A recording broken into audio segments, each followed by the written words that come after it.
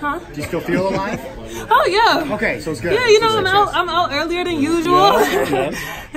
Just checking. Uh, yes. Uh, uh, that, uh, that that last like 60, 70 meters. I don't know what that gear felt like, but but but but it but it, but it looked strong because I mean because Right. because you, you ran away from the field. Right. So how encouraging was that for the final?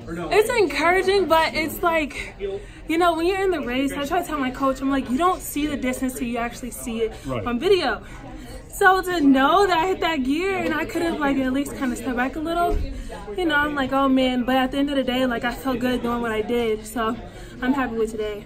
Is this the most? Is this the most confident you've been going into a U.S. final? I say this is the most um, calm I've been um, because I'm trying to stay internally sound um, and just focus on taking it round by round and recovering and actually factoring in the little things.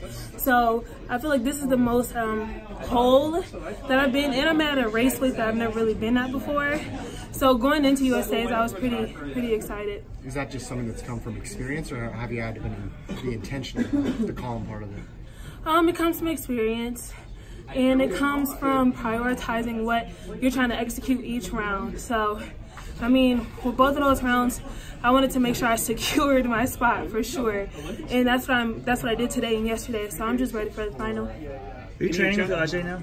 Huh? You guys are in together now? Yeah, this is. It'll be a full year of me being in Philly on the 31st. Oh wow, that long. Yeah, so it's So been a full year. It's been great. I mean, my teammates are great and encouraging. Um, so I really enjoy being at practice with them.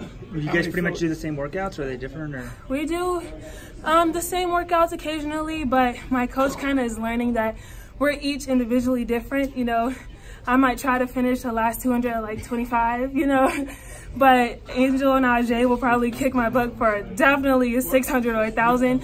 So he's learning about us each, and, you know, individually and kind of working with our strengths and weaknesses. good luck. Thank you. Any adjustments?